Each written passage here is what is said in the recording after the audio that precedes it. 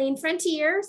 And on our screen, you can see Sameh Zeid on here. You will receive a link to view the recording. Please allow us 24 to 48 hours to process the webinar. So I would like to take just a moment to introduce our facilitator. He teaches teams and their managers on scientific thinking, lean, and product development. Sameh uses Toyota Kata as a scientific thinking pattern to guide his coaching and to evolve the teams.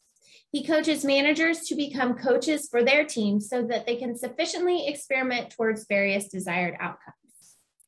And it looks like our numbers are still going up, but if you would like to go ahead and take over, you are more than welcome.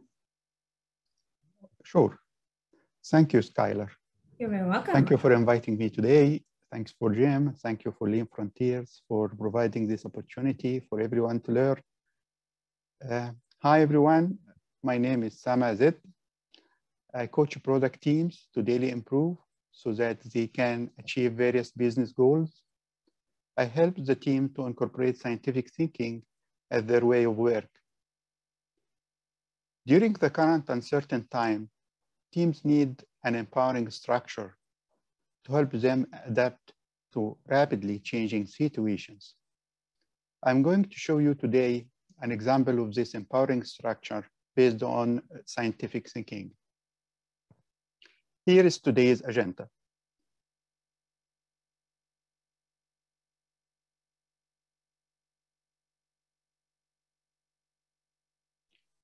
Upon completing this session, I hope you become comfortable to use checklist as a desired operating pattern. By experimenting with this operating pattern, we will generate new knowledge needed to improve our system. One of Gallup's biggest discoveries is the manager alone accounts for 70% of the variance in team engagement. Gallup added that the cost of disengaged employees globally is about $7 trillion, or about 10% of the global GDP.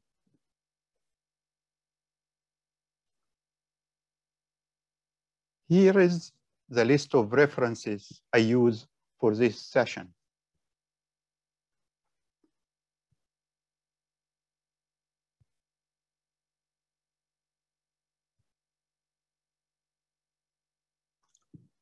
Let's talk a little bit about the aspects of teams working in complex systems. Product team uh, is an example of a typical uh, environment where complexity prevailed. Uh, the problem is that each requirement they receive is unique. And the critical aspect also is that people are non-fungible. So I worked with teams in Europe.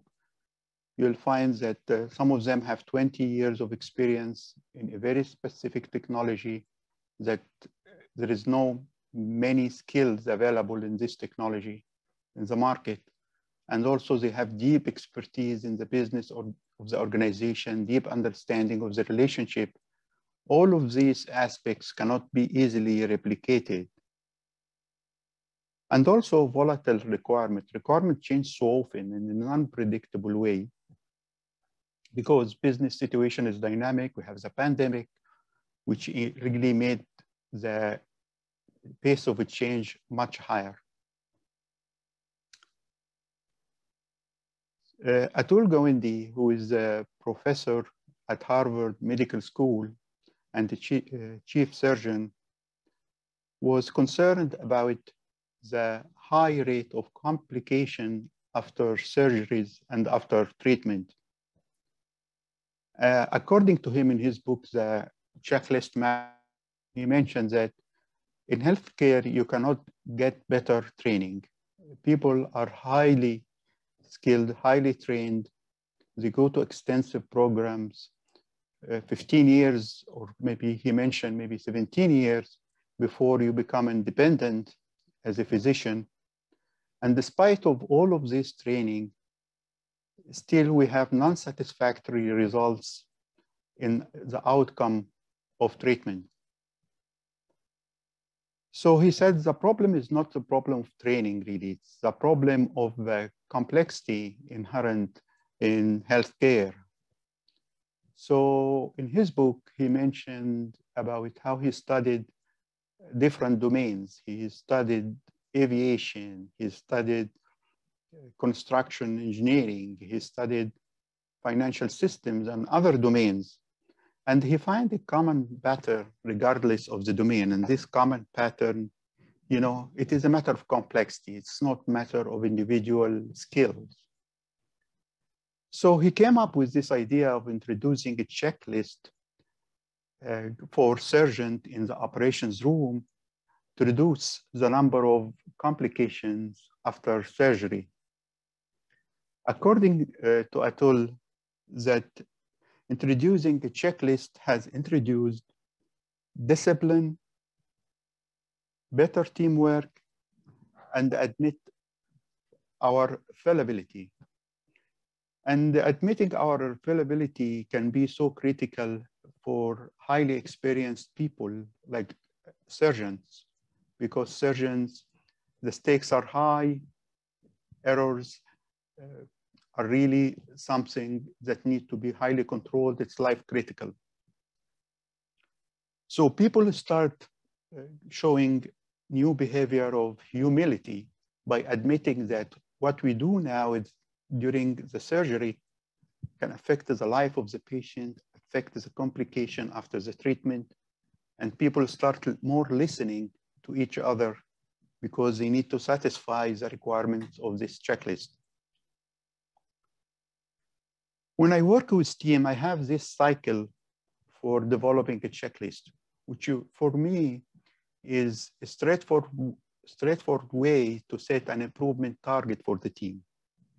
So we analyze the existing data process in a scientific way and use uh, also root cause analysis so that we can prevent the same issue from repeating again. And we create a checklist as a team. No one creates a checklist for us. We create it. Whether this checklist is for design, for specifications, for building, for doing interfaces, we design it. And we use data a lot in here. And then do, we do the work for maybe n requests, which usually takes a few weeks, maybe three weeks, four weeks and collect the data from applying the checklist on each request we are processing. Then afterward, we do reflection and learning.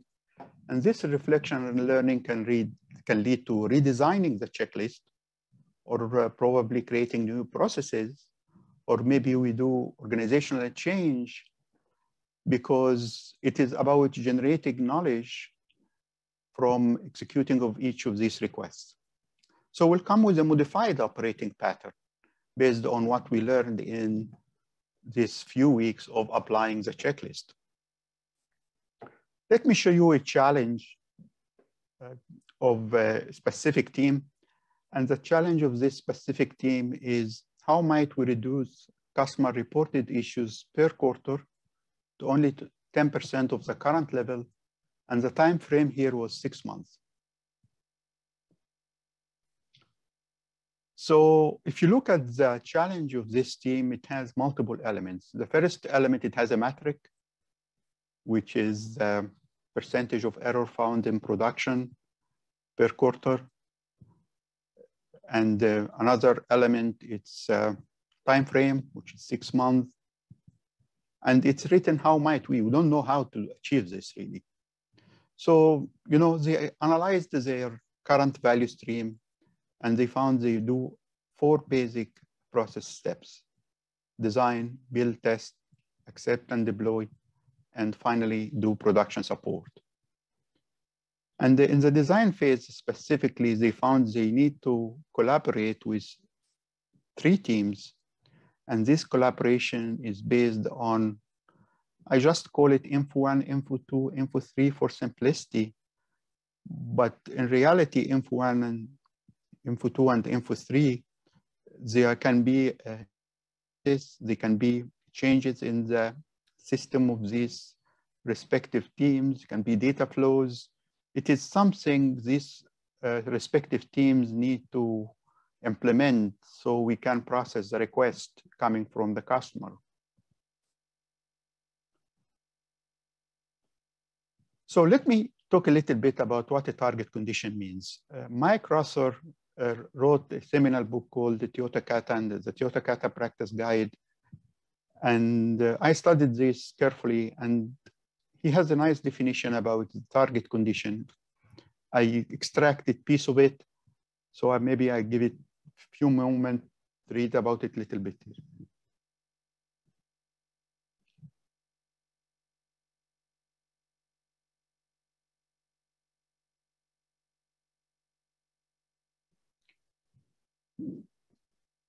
For me, when I deal with the target condition, I say to the team, we need to achieve production issues at 10% of the current level.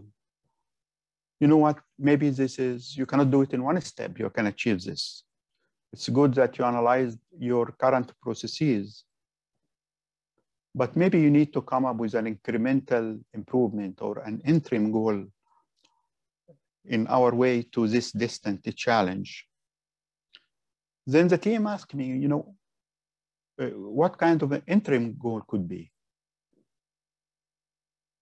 So as author here uh, kind of indicate, I gleaned this from him, his book, the overarching goal or challenge comes from manager, but the series of target conditions for getting there are designed by teams.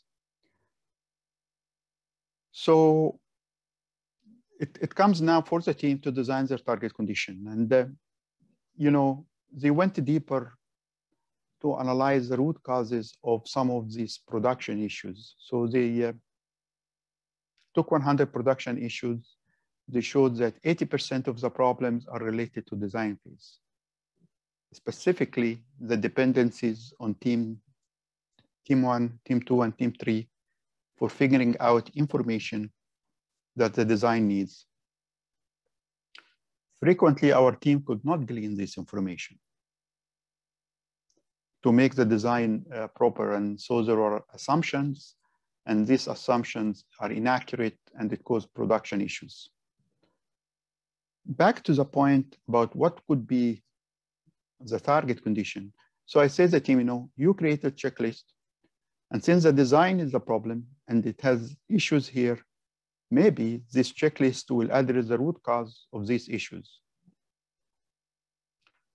I take this extract from Atul Gawande's book about the checklist. I would like you maybe to spend a few seconds to read this.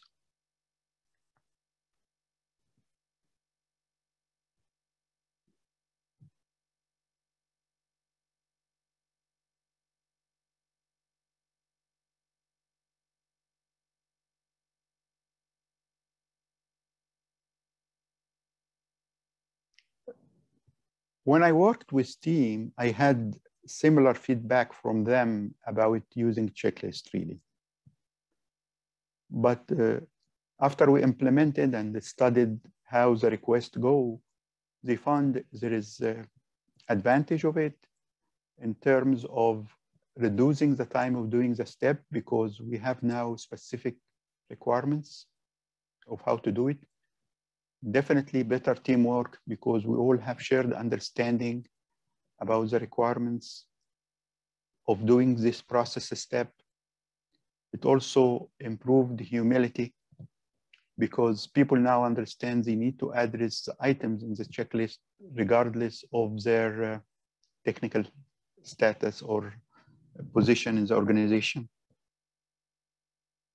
So when we create a checklist, we say why we created, what is the condition which uh, uh, initiated the need to create the checklist. So here, customer reported issues caused by missing information required for complete design. Objective reduce design flaws to meet requirements. So for this team, when they analyze the root causes, they find root cause one, root cause two, and root cause three. And the reason I put it red here because the severity level of root cause two is very high. It's critical, in fact. And they found that issues which are because, because of root cause two uh, create a high impact in production and they create disruption sometimes and they cannot afford to put in production any software which you could have these issues. However, for root cause one and root cause three, they found it its medium impact, meaning it can be contained where root cause two, it may not be contained. And they find root cause two happen if either information two or three are missing, then this kind of issues tend to happen. So they need both of these information during the design, information two and information three, to prevent root cause two from happening. So they arrived at a decision we should not allow having critical production issues, this kind of issues, which are related to root cause two. So they said, you know what? Let us now process the request according to the checklist uh, for the next three weeks. And uh, let's see what we learn from this experience. So they received 10 requests in the next three weeks. And uh, I put here in the red boxes that info 2 and info 3, both of them are critical. So they can process the request.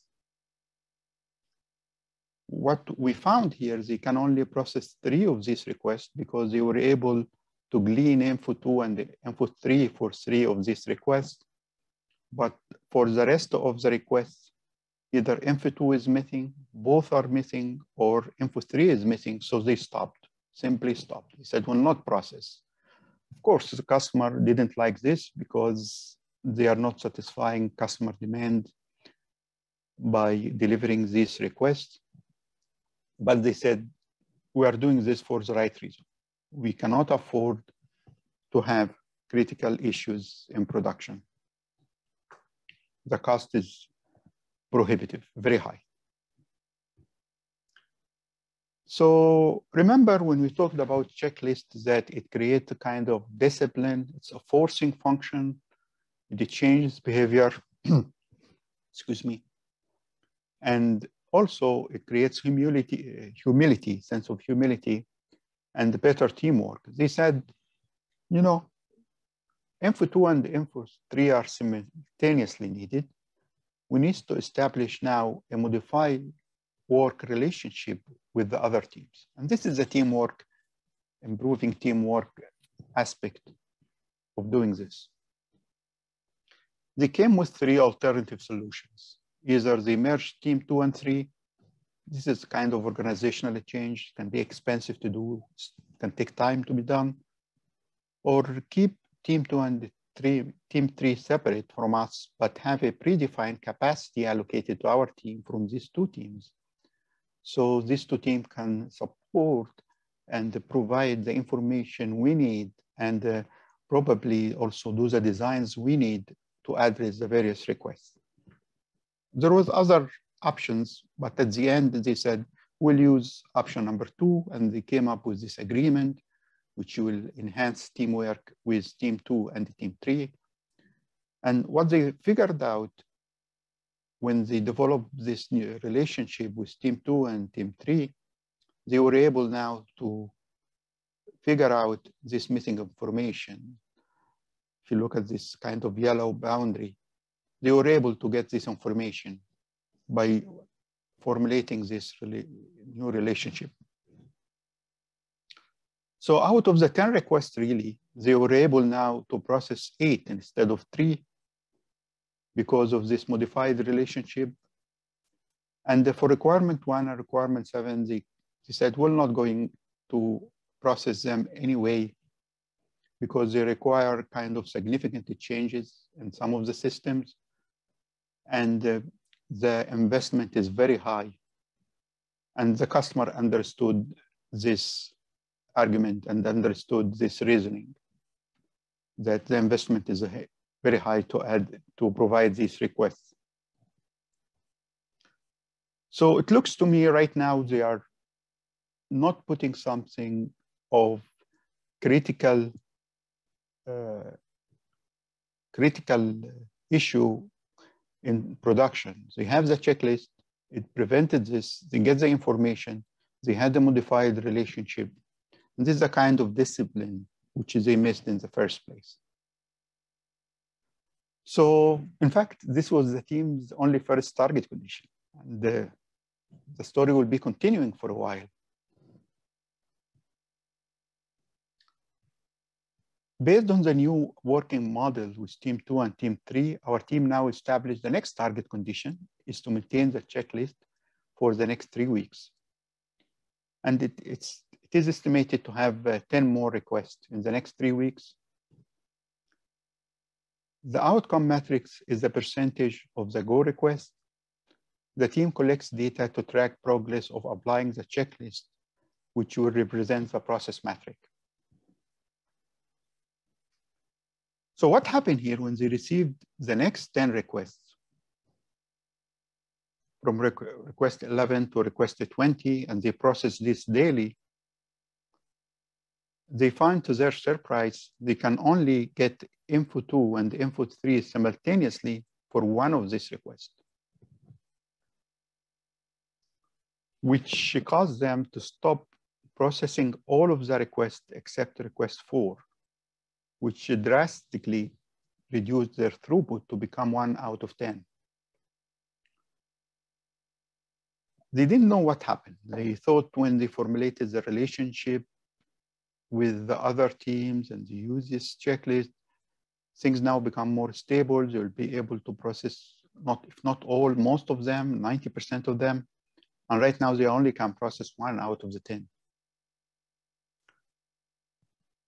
So they start thinking about what has happened and they said, you know what, we'll take a kind of system view about that. So what they found here is now our customer can do advanced function because they are not anymore into firefighting mode, the kind of critical issue which have higher impact, which we improved advancing their business practices, created the need for new classes of requirement. So uh, the plus sign means enforcing, the minus signs mean balancing. So what happened here when our customer can do advanced function, they can more advance their business practice. And by advancing the, their business practice, there is a higher need now for new class of requirements, which definitely our product capability are not designed for such a new classes of requirements. And since our product capability is uh, falling short uh, with respect to the advanced requirements from the end customer, our ability to satisfy customer requirements becomes less, this minus sign. And uh, in, in system thinking, we call this more what we call it a balancing loop. So we have gains here, which is our customer can do advanced functions. But this were kind of balanced or reduced by uh, our uh, limitation in our product capabilities to provide the ability to do the request to meet these advanced functions. So they realized they reached the limit of their product and the, their product roadmap, they need to think about it, which way beyond the current problems they have. Which is okay. They learned something new. They revealed the new knowledge. And this knowledge wasn't there before. So in doing these steps, before we follow these uh, four uh, improvement kata cycles, which we have a direction to get the errors at 10%, we understood the current condition, root causes, what are the critical root causes. We established target condition as a checklist. We processed the requests. We implemented the plan do, do check act cycle not in each step, but also when we reach the target condition. But you know what? This will never happen unless the coach becomes the manager and the manager becomes a coach for his team or her team. And this need to be daily effort to reveal this information. It's a proactive kind of effort that need to be done daily. According to Gallup, if leaders were to prioritize one action, that leaders equip their manager to become coaches. Without really doing this, this will not happen. And then in Toyota Kata, you'll find the coaching kata, the coach is involved daily with the learner or the team to ensure this meta skill or scientific thinking skill, scientific thinking pattern is observed. Steven Spear wrote a book called the, High Velocity Edge. I would like to use this uh, small table from the book who is doing comparison between high velocity company and low velocity company. And I talk a lot with team about the definition of high velocity. It is not productivity or story points or whatever measure. It's primarily the velocity of solving problems and the more important, the velocity of revealing problems. And uh, there are very interesting points here. I would like to see point number four. Maybe I give it a few seconds to read it.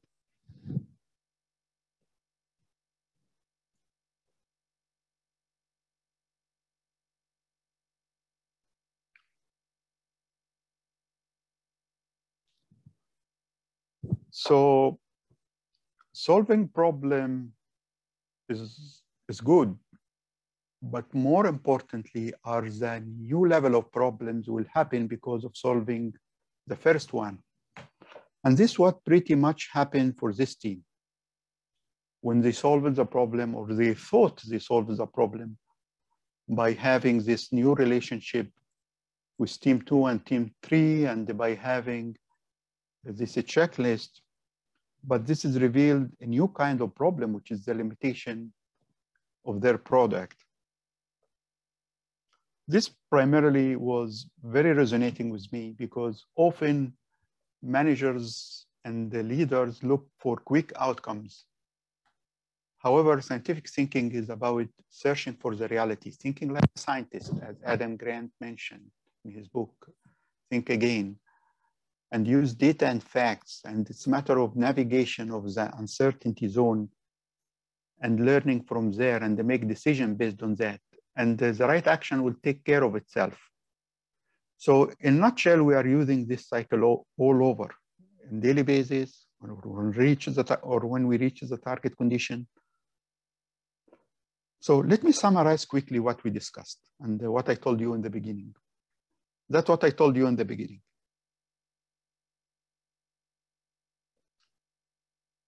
What I didn't tell you is that this only can happen when teams experiment daily while coached by their manager using, uh, I suggest using kata thinking because it's already there and I'm familiar with the material. And, and it's more like a fractal process, whether you have an operating pattern as checklist or I work with team having operating pattern in different things, that's okay. But the idea here is what we do to reach there. Thank you. Thank you so much. And thank you to everybody who joined in today. There will be a copy of the recording sent out 24 to 48 hours after today's um, webinar. If you do have any questions right now, um, we can take the next few minutes to go through your questions if you send those over in the chat.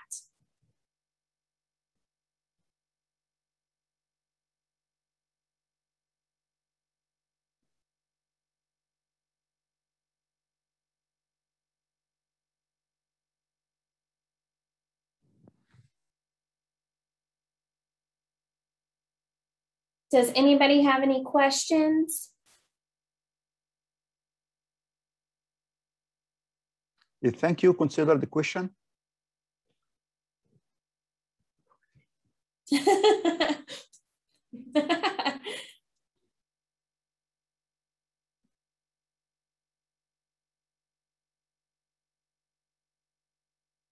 I like this kind of questions.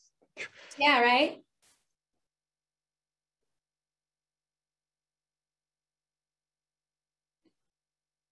Um, I have some suggestion here to Cynthia. I, yeah, let me show you an example, Cynthia, from a team which I coach. Can you see that, Cynthia?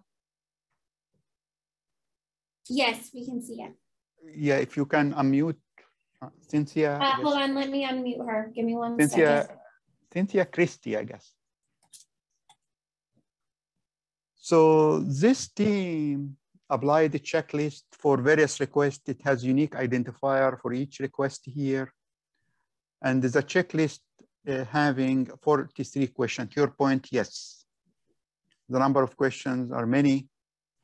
So based on the request they received, Cynthia, they, you know, they study initially the request, they found, okay, these are the applicable questions to each request.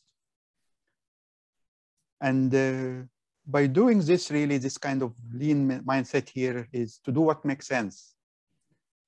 Because requests can be really, the variation is very high. As we said in the beginning, in IT, variation is very high. And, uh, and the variation really, is, it is something we need to live with.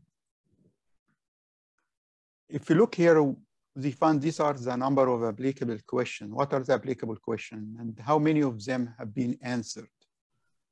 They put for themselves a target to have 100% answered question per request because they did a lot of root cause analysis in production. They found many of the issues happening because of this process. And they recorded the start day and the end day of doing this process steps. And they have here the rank control chart, if you can see my screen. And they get some knowledge from this. One knowledge is it takes anywhere between one and 14 days. They take some knowledge from this. If they are dealing with new objects or an old object, this can be a factor. So old object can be done in faster than new objects that still need to be redesigned. And then right now when they start getting questions about how long it takes, they start now instead of estimation, estimating the work, sorry, start looking at this data. And then what they're waiting for now is for these requests, because each one of these will go at certain point of production, they will start measuring how many issues happened because of these ones to measure the effectiveness of their solution. It's like what Atul Gawande told us about complications after treatment the surgery may be successful, but what about the complication after treatment, the whole process? I'm not sure, I'm not sure if that was helpful, Cynthia.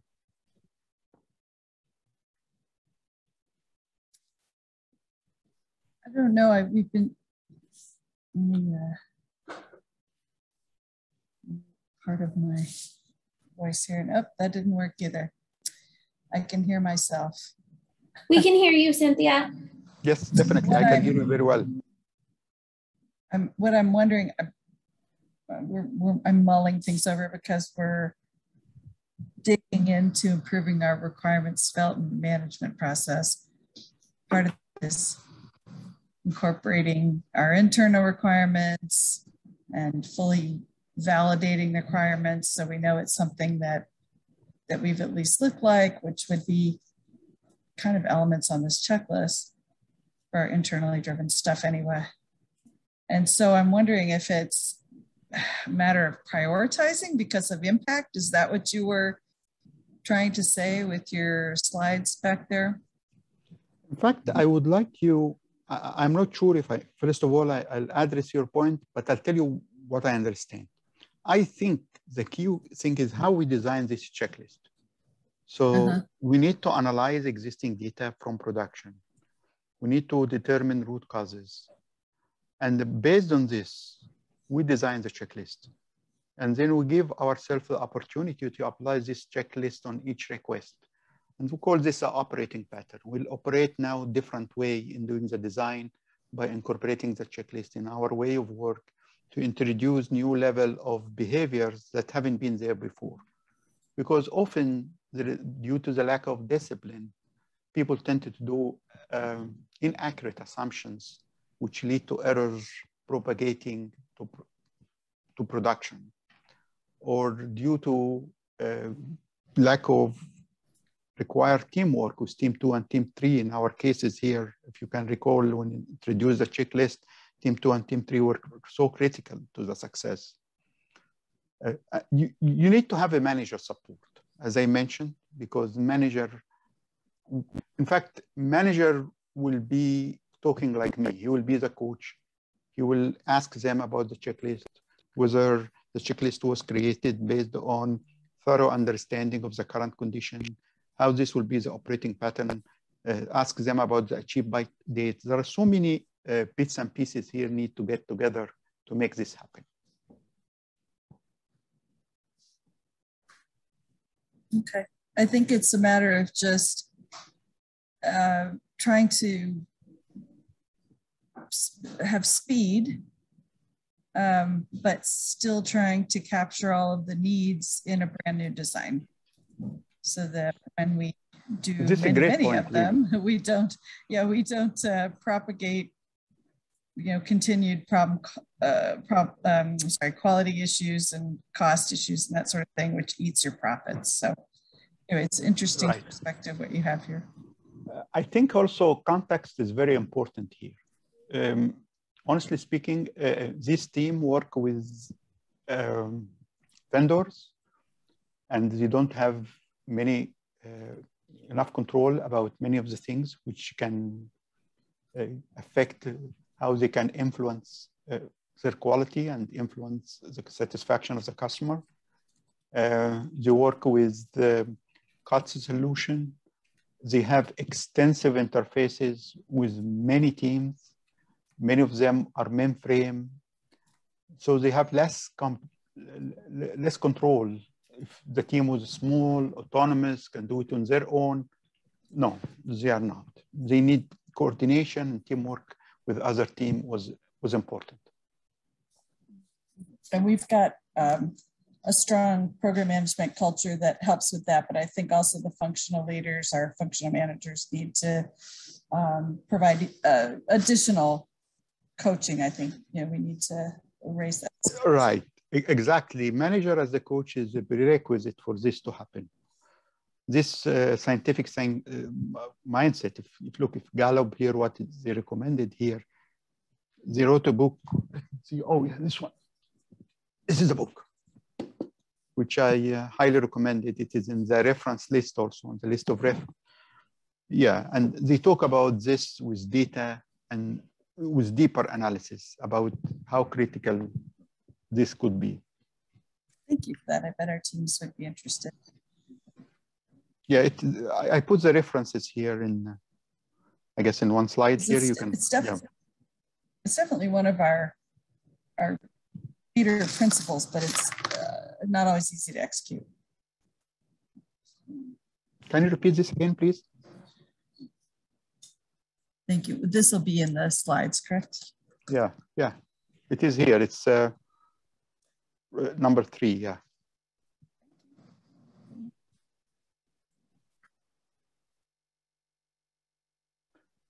In fact, one, one thing here, I think Selby was talking about velocity to reveal and solve a problem is only with a coaching manager. Yeah. Yeah. So can you clarify a little bit for me, please, Selby?